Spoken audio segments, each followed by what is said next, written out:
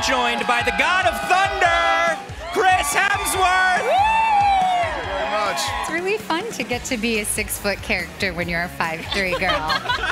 you know, that doesn't happen often in your life.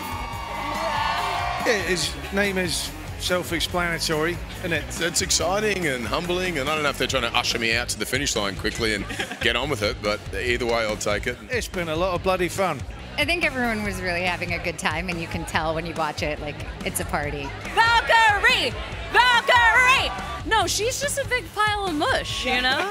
I think Taika wanted to make a, a romantic comedy set in space, and it's that. I've spent years in space now at this point, so it's becoming really normal to me.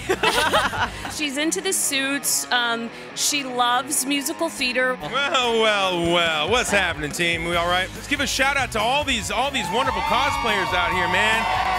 I love it. Taika Waititi, hello, sir! I didn't ask them to do that. Okay. This genre is the Taika genre. Gotta ask you a little bit more about Taika. Is he like a big brother? Is he like a funny uncle? Is he a tyrant? What's he like on set? A bit of all three, I guess. I love it. There's zero pressure on me, and there's all the pressure on Taika. Taika is just amazing. He's a force of nature. I've, re- I've rewritten the script, mate, and, and um, you know, I decided to put some goats in there. See what he's gonna do with them. I'm really like amazed with all the actors I managed to get into this film.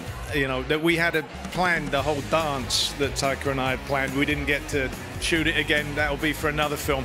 But a whole Gorr uh, dance. You know, sometimes with villains you just need them to be bad and, you know, not amazing dancers. Uh, I'm pretty sure if I say anything, a Marvel sniper will get me. I can tell you nothing. I can tell you Thor is in it. But you know how Marvel is. They won't even let us know what's going on. And so I'm about to go in this theater and find out what the hell we did. How does it feel to know that people are talking more about your biceps than his? Well, I mean, That was all my doing. I wouldn't ask her that. No, no, no. Let's just keep that between us. Okay. Hats off to anyone who has to deal with acrylic nails. I couldn't do anything.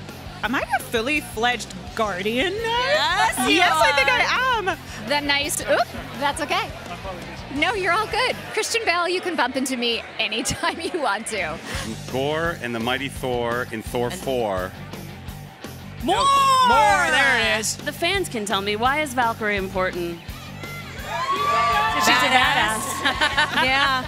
I hope everybody loves the movie. Thanks for having me. This is the best. I'm so happy to be back. I feel so lucky to be back with this crew.